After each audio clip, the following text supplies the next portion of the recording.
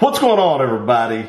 Welcome to the channel. Um, today I have a special guest, Keith from Trigger Happy. I will link his Tundra video in the description below so you can follow along with his journey. But to give you just a little bit of insight to what's going on, this man here has a 2022 Tundra that has the wastegate issue. And I'm going to let him tell his story. I have a few questions for him. But one thing I really wanted to get him on the channel for is I had a YouTuber not too long ago kind of hijack my comment section. And he had talked to Toyota and was kind of downplaying this. And myself, I would rather talk to someone that actually is in the shoes of the person having the problem rather than being in a company that is telling an individual that knows he's going to tell the world um, what he wants the world to hear. And I'm not saying Toyota is doing that, but I know companies do that. They tell social media people what they want people to hear and you may not get the entire story. So I want to get the story from someone that is actually having the issue. So without further ado, again, this is Keith from Trigger Happy and he'll be linked in the description below. Keith, you want to tell us a little bit about what, um, what you experienced, kind of what happened to the truck when this uh, wastegate issue happened and kind of what they've told you. Yeah, so uh, purchased a truck. I got a call on, uh, I think it was the day after New Year's from the dealer, and I had been on a wait list for quite a long time, like everybody else. And got a call, hey, your truck's in. So that was on Sunday, I believe. Um, it would have been like the, the second or third. And so I went in and picked it up on, on that Monday. Drove it for six days so then on the following Sunday, I had the first error come up. The first uh, check engine light came on and said I had some kind of a parking brake assist malfunction, which the way I understand it, the truck's parking sensors know if you're going to hit something when you're backing into it will automatically apply the brake. So I got an error on that, which I, I think is pretty common that people are seeing that error. So that was on Sunday. So I called my dealer on Monday. So this is the following Monday after I purchased it. It's got 300 miles on it. And I told them, hey, I need to get this in um, and have it looked at. They said, no problem. I did not drive it that day. So I went in on the following Tuesday and on my way to the dealership, which is about 30 miles from where I live, um, I'm driving on Interstate 77, going 75 miles an hour, and I get a, another check engine light with another message that says reduced power um, see dealer, you know, immediately or, or whatever the, the, the, code says. And I knew right away that there was a, um, a problem with a turbo because you could feel the truck shudder and then it just, you know, kind of shut down the power. I still had the ability to drive 65 miles an hour, but you, you know, I, I didn't want to gas it. So I yeah. just, I just babied it, got it there. And so they took it in. I told them that, hey, there's another issue and so I sat there for about two hours waiting on them to come out and let me know what was going on. And I knew nothing about this wastegate issue at this point. And while I was sitting there, I'm, you know, on Google, I'm on forums, and people are saying, hey, we're getting this error. And I see the famous picture that you have on your video of the, the cab off the, the frame. And so I kind of read about that. And you know, I go I, I, go up to the service manager. I said, "Hey, I probably need to talk to the tech." And he's like, "Well, he's on the phone with Toyota. When he's off, he'll come talk to you." So he comes out, and I said, "Is it a wastegate issue?" And he's like, "Yes, that's absolutely what it is." And he's like, "No problem. We'll get parts in, and in a couple days, we'll have this fixed." And I said, well, "What I'm reading said everything's back ordered, and it's going to be quite a while to get you know this serviced." So he's like, no, nah, I don't think that's the issue. So um, I went home. They gave me a loaner, gave me a RAV4 loaner, and I went home. Got so they didn't give you another 22 Tundra. didn't give, they didn't have another 22 Tundra. And I would have liked my trade-in Tundra was still on the lot for sale. And I did say, like, how about that truck? Because I know that one runs pretty good. Uh, but it didn't get that one, so uh. I got a RAV4. And uh, so the service manager called me later that day and said, "Yeah, you're right. Everything is back ordered." And I was like, "Yep, that's that's what I thought." And I said, "What are they telling you?" He's like, "Up to 30 days, maybe maybe even more, um, depending upon shipping and all that stuff." And I said, "Are you actually going to have to take the body off of the frame?"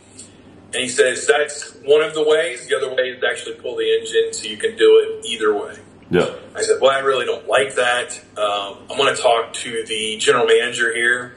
So I called the general manager. Again, this is last Tuesday. And I said, you know, really not thrilled with a truck that at this point had 335 miles on it, having to be disassembled by a tech that's never touched a 22 Tundra before. That's what I've been saying, and everybody's telling me, oh no, they're going to send a master tech down there to do this. But I don't know if they've got enough master techs to send everywhere to fix these trucks. Now they're saying there's only 10 trucks, but I'm seeing more and more pop up here and there. I am too. I, you know, as I keep researching and as my video has, has been, you know, kind of seen more and more, I'm getting more and more comments on that video like, yep, I'm in the same boat. I'm, I'm getting this. And I probably had eight or 10 of those comments on my video so I would say it's a little more widespread than people want to believe. Yeah. Um, but I, I talked to the general manager that day, and you know, and, and he said, "Oh, we take cabs off trucks all the time." And I said, "There's a big difference between a brand new truck that you've never touched and every Tacoma that you recalled that had 200,000 miles on them. You know, if you want to take the the frame and the and the the body off of my old Tacoma." You know, it's got 200,000 miles on it. I don't care. But not on a truck with 300 miles by yeah. a guy that's never worked on it before. I wouldn't I be happy with that. I've stated several times that I feel like there would be some squeaks once they got that done. I mean, I understand these people are trained and stuff, but it's hard to get every single bolt torqued back down exactly where it needs to be like it does from the yep. factory. And that that was my thing that I said to not only Toyota, which I'll get to in here in a minute, but to the general manager, like – that was assembled in a factory by 150 different people, and guy number one's job was to put bolt A into hole A, and it moves on down the assembly line. Yep. This tech is going to do everything. Does he know the torque specs for everything? Does he know how to disconnect and reconnect the HVAC, the electrical? I don't know. He might, but I don't know. Well, it's a brand new truck. Does he? Has he been trained? I'm doubting they've been trained on these brand new trucks how to do this extensive. Now, maybe they did, but that's a lot of training in a short period of time for a brand new truck that's been out a month.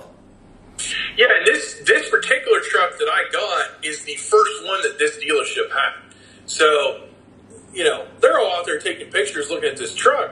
They've never even seen it before. You know, so I don't I don't think anybody was flown to San Antonio to get a real breakdown on how this thing is put together, at least at my local dealership that I'm aware of. Yeah. Um, but that same day, I called Toyota Corporate. I started a case with customer care.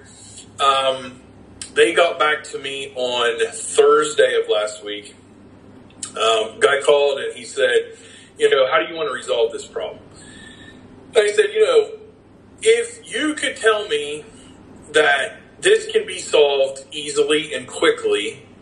Okay, you know, I'll, I'll give you the benefit of the doubt. Um, but you just told me, and he told me as well that the parts are back ordered. You know, who knows when it's going to come in? We're thinking mid February. And I said, you know, that's to me that's a problem. You know. I have a truck that I'm paying for. It's not in service. We just got a foot of snow. I'm driving a loaner Rav Four when I paid for a truck. I want a replacement truck. Yeah. You know, and he's like, Toyota's in no way able to do that. No way able like, to do that as much money as said you have to go through your dealer. He's like, you got to talk to your dealer. I can't authorize anything like that. And I said, fair enough. Put me, just let me talk to a district sales manager a regional sales manager. Let me talk to somebody in engineering. Let me talk to somebody in production. And he's like, nope, those people are unavailable to talk to. I said, well, you know, okay, I, would like to at least tell them what is going on and maybe they can assure me that hey this truck was designed to have the cab taken off really easily. It's a super easy process because we knew that someday they're going to have to work on these turbos and it's a really simple process. Okay that's that's cool. Fair enough. You know if you if you told me that's you know how this was designed all right. But no. So toyota corporate says talk to your dealer. So um, a couple calls to my dealer, and you know, I told them, hey, I'd, I'd like a, another truck or some kind of game plan on what's going to happen with with my truck. And there was never any, um, never really any response. You know, he's like, well, we've got a 1794 coming in. And, you know, like, but that's not what I really wanted. And I don't think I should have to spend another $9,000 or whatever it is. Plus, you hit me, you know, they were talking about trading it in. Oh know, my gosh. On, on a trade. Let's So- let's deduct some money off the trade here, and then you pay Right, full price you for this seventeen ninety four. Like, well, that's what we got. That's all we have coming. Sorry. Um, so that was Thursday. Then Friday, I got a call from um, Toyota corporate again. No, I'm sorry. I'm sorry. My, with all this snow and all this, I'm, I'm confused. What is today? Wednesday? So yesterday, okay. yesterday, I got a call from Toyota corporate and they said, "Hey, have you heard from your dealer? Any updates? Anything?" I said, "Not a word." I said the conversation ended last week. Of there's nothing we can do. That was it. He said, "Well, I'll conference in the general manager and we'll have a discussion." I said, "Okay." So the general manager was unavailable. Assured me he'd call me back. Um, that was yesterday at about eleven o'clock. Nothing yesterday. Nothing today. So. Um, I told the guy again from Toyota yesterday when we talked, you know, again, he, he kind of raised the question a second time, what do you want us to do? And I kind of went through the spiel again. And I mentioned to him, and maybe I shouldn't have done this, I don't know. I'm not an attorney, I don't know what to do. But I said, in my state, any vehicle that's out of service for 30 days in the first year is considered a lemon. So when you tell me that there's a parts backup and there's at minimum 30 days to get the parts, plus who knows how long to actually fix the truck, maybe days, maybe weeks, I don't know. We're over the 30 day threshold. It could legally be considered a lemon at that point. I could pursue it. Now, whether I would win that case or not, I don't know. Why don't you, Toyota corporate, just head this off and just send me a replacement truck? He's like, nope, can't do it. So that is the end of everything I've heard from Toyota and from my dealer. And I will preface this, and I should have started with this. Not that I'm anybody special, not that I deserve any different service than anybody else, but Toyota's aware because I told them up front. I have bought 13 Toyotas. I have bought 10 from this dealer. So I buy a lot of cars. You know, my wife's got a 2020 Highlander Platinum. You know, I've got this truck. I've had a lot of Toyotas. You think So- loyalty would be worth something?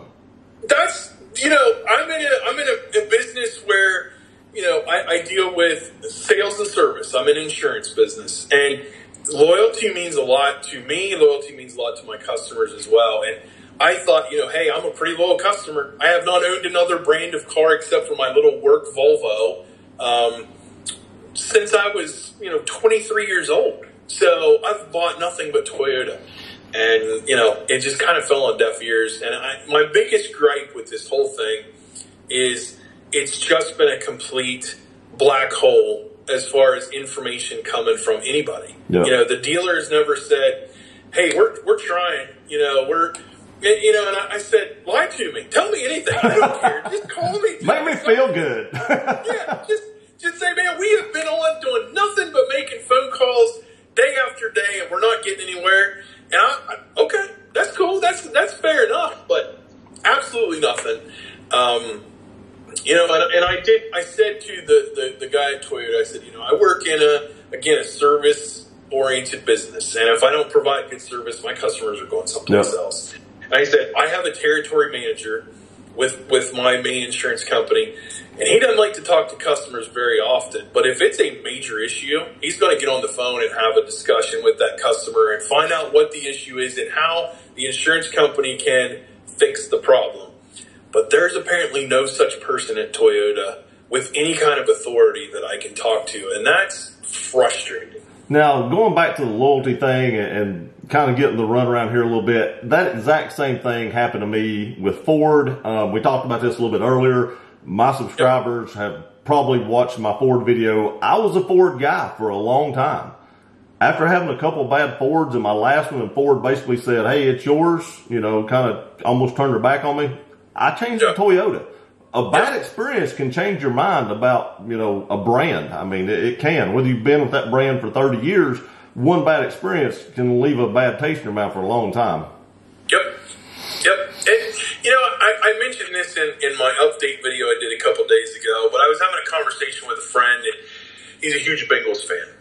And hey, I'm a sports guy, but, you know, I said, this would be like Joe Burrow calling you and saying, thanks for the season tickets all these years. Thanks for being a Bengals fan. We don't need you anymore. Yep. And then, you know, Toyota was my team. You know, I mean, I have a. You got a banner behind your head.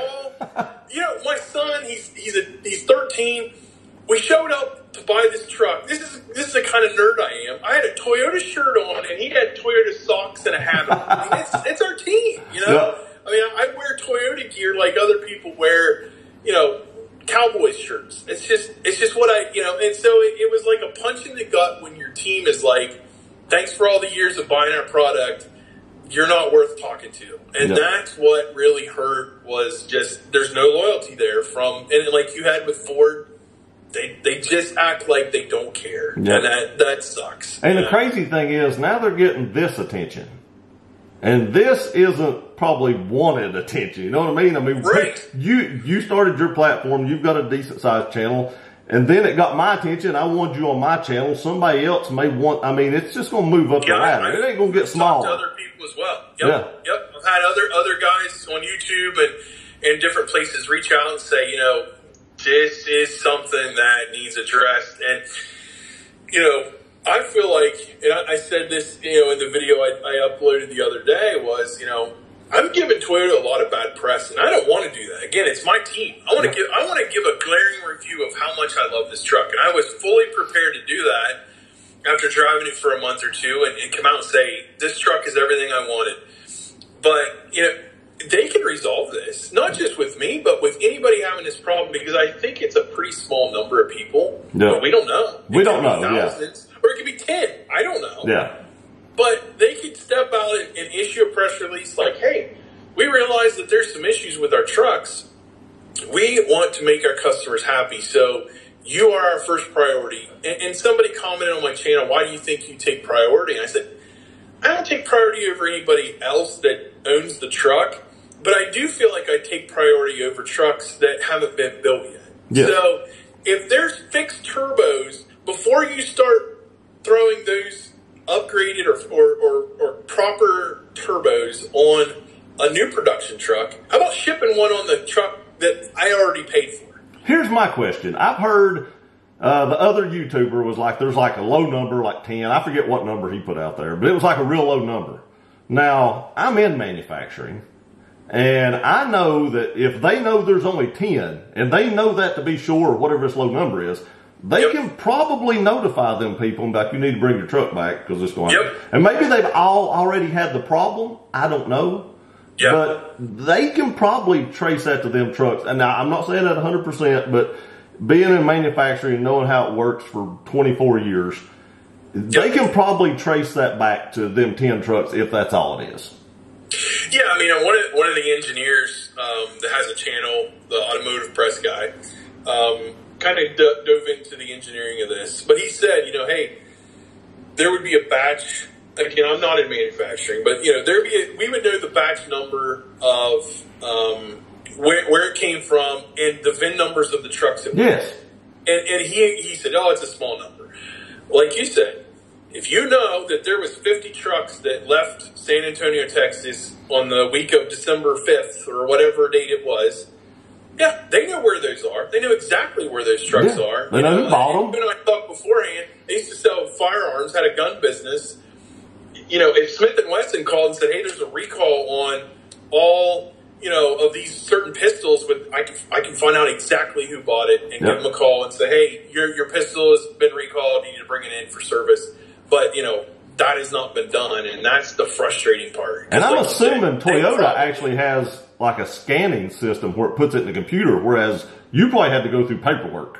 I had to go through paperwork. Yeah, Yep. they it should be easier for them is Oh, yeah. for them to find the you know if it's that small. I'm not saying it's not the small number. I'm just saying if it is, it should be easy. If they if they know this batch was bad, and I don't know how many comes in batches. You know, there's different batches. So I, as small as that little thing Sure. is, you think there'd be a lot of them made at one time, but maybe it's just a few faulty ones, and then they caught it and fixed them, but they got mixed in with some other ones. But nonetheless, if they know it's just a small batch they can probably find those VIN numbers pretty easily. I, I would guess. I don't know that, but I, I would so. guess. The, the one thing I do find interesting, and again, you- you're probably on some of the same maybe Facebook groups or things that I am, and you see people saying, "Hey, my truck was supposed to be delivered last week, but it's been delayed. It's been delayed for QA issues or, or whatever." To me, that seems like they obviously know there's a problem, and maybe we're still putting these faulty, you know, wastegate turbos on trucks up until pretty recently. Because if if you had a build date of a week ago or two weeks ago, and it was supposed to ship today, and now they're pushing it out two weeks. Again, I'm just speculating, like like we all are. Yeah. But maybe they said, "Hey, before these leave Texas, get those babies back in there, and let's get the right parts on them." I don't know. It's And that could be what they're doing. Maybe they're like a small batch you got out, and we know these were bad, so we're going to fix these before they leave. But they should Right, still that's what I'm they should still fix the guys' trucks that have already paid for them because you paid for them. Don't Right. be like I've got my money, I'm done. Send Yeah. them one out immediately. Yeah, that's that's the thing that, like, say that you know, when, when that person says, "Why do you take priority?" It's like I understand there's a lot of trucks that, and, and those are those are cash money that Toyota can put the bank that are on the production line right now. They already put my money in the bank. Yep. You know, so you sent me a faulty product. You know, I don't care if it's a vacuum cleaner or an Xbox. If it doesn't work, you know, I expect it to be serviced in a timely manner because I paid for it. You Exactly. know, that's that, that's the thing. And we're not talking about a vacuum cleaner or an Xbox. We're talking about a sixty thousand dollar automobile Yes. that I paid for, and I just expect it to be fixed quickly. And for know? all the people out there that's going to say there's a supply chain issue, they're still building trucks. right, Take one of those trucks and send the parts to the 10 people or however many it is that need Don't them. They ain't stopped Don't building trucks as far as I know for this issue. They're still building them. So, And, that's if you can't send me the part, and this is what I've said many times, and, and people like to disagree with this, and, and, and other people agree with it. But if you can't send me the part, then send me a new truck. Yeah. That's that's the other thing. Or the refund your If- money. If, my truck's gonna, yeah, but if it's gonna sit on the back lot for the next three months waiting to get fixed, send me a new truck, and then you can take that one back and figure out what's wrong with it on your dime. yep. But one or the other, I don't care which, but I just don't think I should have to be in a RAV4 loaner. Hey, fishing season's coming, and I, I better be able to go fishing. Hey, when, I got to when, load my kayak somewhere. when our Mercedes tore up, they give us a loaner and we were fixing to go to Florida and it was only supposed to be a few days and it wound up being like a week and a week or week and a half. And I called them. I said, I'm fixing to go to Florida. I'm taking your vehicle. And they were like, no, you're not. Come get yours and drive it. And I was like, the windshield wipers don't work. You want me to take my vehicle that the windshield wipers don't work to a place that rains a lot? Every day. Every yeah. And uh, we had a few words, and the manager called me back said, "If yours ain't done, you take ours. We don't want you driving, you know, an unsafe vehicle." But nonetheless, you know, it, it was, you know, the same thing. It was sitting there, and I was in a loaner, and I was fixing to do something I wanted to do, and I was going to take their loaner, but they're like, "Oh no!" Yep. Yep. Yep. I. The way I look at it. Yeah. I mean, I, I have, I have a place, something to pull my trailer, put my kayak in, and a RAV4 with no hitch isn't going to do either of those things. So Just they gotta weld get figured out. yeah. I'll strap it to the top. Yeah. I, I, Drill a hole in the back gate and put an eye bolt through it. Big Yep. that's right. I got good insurance. We'll tear it up. It's fine. That's great. That's great. Yeah. Oh man, that's great. Yep. Uh, man, I hate you're having this problem. I really, really do. I, I appreciate you, you know, getting it out there too. And I, I think um, it's just a car. You know, ultimately, there, there's, you know, I've said this because you know my customers. Uh, I, was dumb enough to share this truck on YouTube, or I'm sorry, on Facebook. Yeah. Um, that I got this new truck, and I don't normally do that, but I was pretty excited about it. And I've had so many of my customers over the past couple weeks, like, "Hey, how's that new truck?" Like, you want to know? But ultimately, it's just a truck. There's so many other things that could be worse and wrong in the world um, that we could be dealing with. But True. you know, hopefully, hopefully it gets taken care of. And and uh, you know, I'm not. Uh, I'm not throwing anybody. You know, I've never mentioned my dealer's name. Yeah. Um, I don't. I don't want to throw them under the bus. Now, you know, if we get down the road and this this continues, then uh, they're, we're going to probably have words at some point. But you know, I'm still a local guy. I always deal local, and I I, I hope that they can. Uh, can help me out here because I, I don't want to throw them under the bus yet. I, I feel like it's a Toyota problem. Yeah. I'm with you on that. Toyota needs to fix it. I'm with you on that. You know, I mentioned a YouTuber. I didn't throw him under the bus. And he hijacked my comment section in, in one of my last videos. I don't do that. I think that's distasteful. I would never go on someone else's channel and do that. Yep. But but I don't call people out like that either. Even a, even Yep. I had a I had a small retaliation video one time against somebody that kind of rubbed me the wrong way, and I still didn't call them out. I let them know what I think, but Yeah. I didn't call them out. I, ju- I, I'm just not that guy. I'm with you on Yeah, that. I'm not. I'm not either. I, I- don't want to. You know, there's a few comments I've made to other uh, you know commenters before that were maybe a little distasteful, but yeah, I'm, I'm like you. I don't. I don't want to. I don't want to get into that war with, with anybody, and, and certainly not another local business where I'm, I'm at, because I, I, I believe in, in dealing local. I mean, Yeah. you know, I've never been one of these guys that's going to drive to a dealership 300 miles away to get a truck and expect my local dealership to take care of all my problems. You know, Yeah. it's you know, I bought it here, I want it fixed here, and that's kind of the way I look at it. But you know, I, I'm hoping I am a little disappointed in them, and and I, I will. I've said that to the, the salesperson, which has no authority in anything. But you know, I, I said I am uh, I am you know pretty disappointed in their lack of communication. But again, my scorn is really with Toyota for just completely no plan, no communication. You know, just you know, I, I, I use the expression "pound sand," and it, it kind of it's kind of what I felt like the other day. Just Well, it was their Go- problem. go It ain't the dealer's problem. The dealer didn't build the truck. that's right. Toyota built the Yep. truck. Yeah. Yep. I agree. Yep. I agree. I would feel that way 100. percent So Yeah. Keith, man, I appreciate you being on the channel. I really do. Um, again, Yeah. I'll link you in the description below so my subscribers can go subscribe and follow along with, with your journey on trying to get this thing fixed or resolved. And I wish you the best of luck.